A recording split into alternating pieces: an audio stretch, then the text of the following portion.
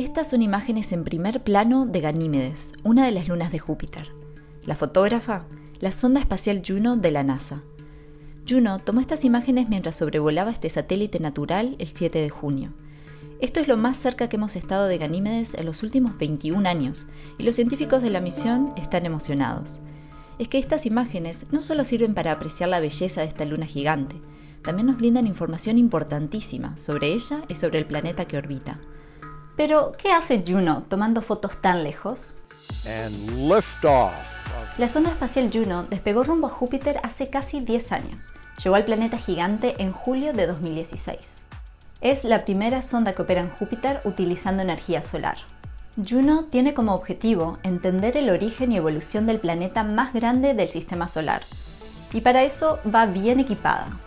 Lleva consigo varios instrumentos que le permitirán estudiar el núcleo de Júpiter, cartografiar su intenso campo magnético, medir la cantidad de agua y amoníaco en su atmósfera y observar las auroras del planeta.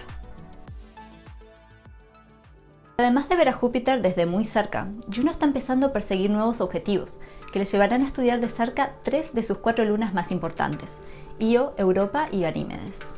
Este 7 de junio de 2021 fue el turno de Ganímedes, y claro, aprovechó para sacar una que otra foto en el proceso.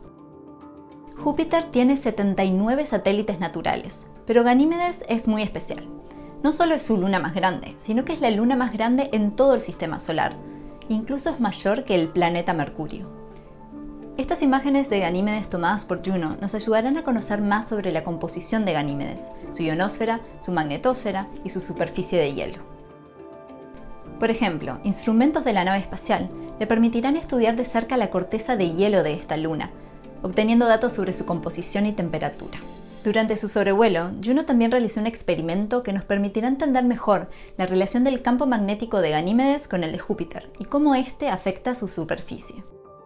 Además, la sonda espacial hizo mediciones del entorno de radiación cerca de Ganímedes, algo que beneficiará a misiones futuras al sistema joviano, es decir, a Júpiter, sus anillos y sus lunas. Por ejemplo, JUICE, de la Agencia Espacial Europea, y algo similar en el entorno de Europa, que provee datos para la misión Europa Clipper, que orbitará esa luna en los próximos años. Conocer los niveles de radiación es fundamental para la seguridad de estas misiones espaciales. Juno aprovechó al máximo la oportunidad de ver a Ganímedes desde tan cerca, a poco más de mil kilómetros. La sonda pasó muy rápido, a 19 km por segundo o 68.000 km por hora, como si sobrevolara 190 canchas de fútbol por segundo. En total, el sobrevuelo duró 25 minutos, pero la información que recabó es suficiente para mantener a nuestros científicos ocupados por un buen tiempo.